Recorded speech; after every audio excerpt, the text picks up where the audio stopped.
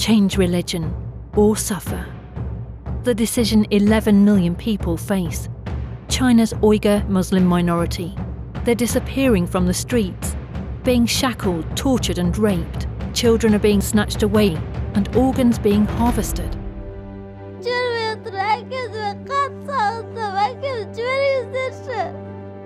Religious items are being considered extremist and are being banned. Many Uyghurs have no option but to flee for safety, leaving their lives behind and seeking refuge in Turkey. Without food, homes, or income, there are currently 50,000 Uyghurs living in Turkey. Forbidden to be Muslim. 3, 2, 1. What's it going to be?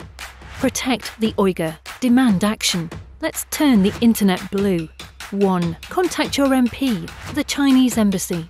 Demand for the closure of camps. 2. Tell everyone. Share this video. 3. Donate to Charity Right today. Provide food packs to families who have fled but are now struggling alone in Turkey.